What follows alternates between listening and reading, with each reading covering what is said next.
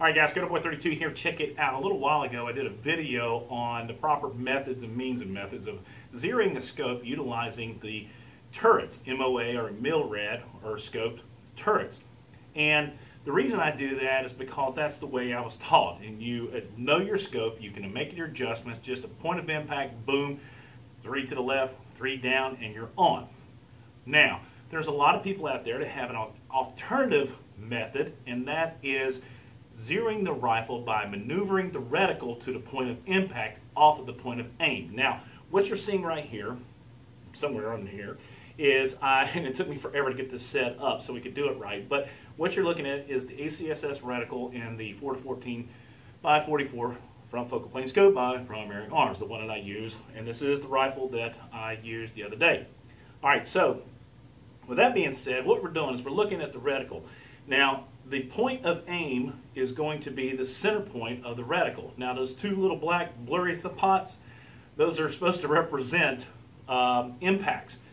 All right, so here's what you're going to do. And it's a very simple method, especially those guys who are using, say, deer rifle scopes or sporting scopes that don't have necessarily the hash marks or the actual adjustment on there. So what I, I suggest, and you know, Larry Potterfield has got an awesome video. He did it on one of his commercials on the Outdoor Channel. But in any case, what you're going to do is you're going to steady the rifle. You're going to set it up in a bench or you know on a bipod with the rear secured, and you're going to shoot at the center point on the bullseye, which is your point of aim.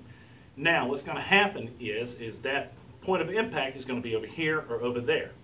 So I've got two little black dots representing the point of impact. Now we're going to go ahead, and I'm going to adjust to that right hand side. And the way I'm going to do that is I'm going to hold the rifle steady after my shot and I'm going to take the turrets and I'm going to adjust those to the point of impact. So in looking at this thing, I need to go down. So what we're going to do, and I hope you follow this, is we're going to adjust down, which is up, and then we're going to go right on the reticle, on the turret adjustments. And what that did, or did, is if it was a little bit more precise, it would now, when you shot the rifle at your point of aim, the point of impact should be right where the reticle is. The theory is awesome and it works. And if you're in a hurry, that's the way to do it. A lot of times, a lot of hunters, a lot of guys, they do it that way. Me personally, I'll use either one of them. I don't care. So what we're going to do, say for instance I shoot now, and that point of impact was way over there. I don't know if I got enough turret to get it over there. But you can see how the adjustments move the reticle to the impact. We bring it back all the way across, up and down, just like that. So again, you shoot, bang, point of impact's down in the bottom right. We're going to go ahead and bring it down and over just like that.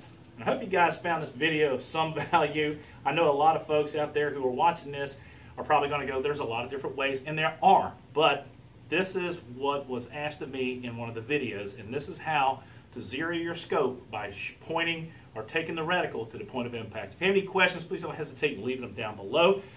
And as always, if you like the video, thumbs up, subscribe if you haven't already done so. It's Dakota Boy 32, support the boys in blue. God bless America. God bless those men and women in uniform 24-7 for our freedom, because freedom's not free.